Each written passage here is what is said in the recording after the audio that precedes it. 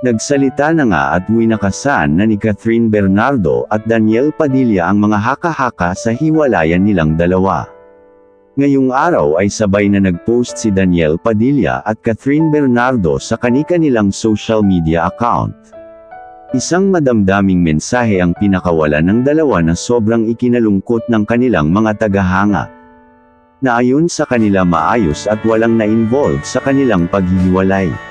Desisyon umano nila ito, pero mananatili raw ang kanilang pagmamahal sa isa't isa kahit na wala na sila maging sa Katniel fans.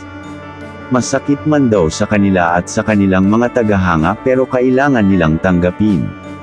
Nagpapasalamat na lamang sila sa isa't isa sa labing dalawang taon na nagkasama sila sa lungkot man at saya.